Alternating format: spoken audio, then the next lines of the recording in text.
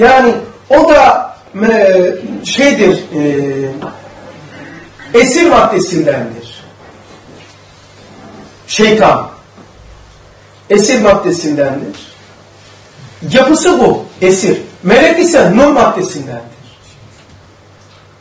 Cinler de ateş, ateşsiz dumandandır. Ateş, ateşli duman işte. O ateşten şeytan. Zaten kendisi diyor. Beni ateşten diyor.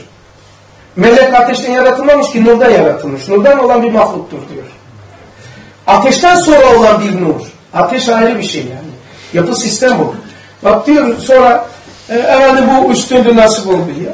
Bu sistemi anlatmak için bir şey deniliyor da meleklerin hocasıydı. E meleklere ne öğretiyordu o zaman?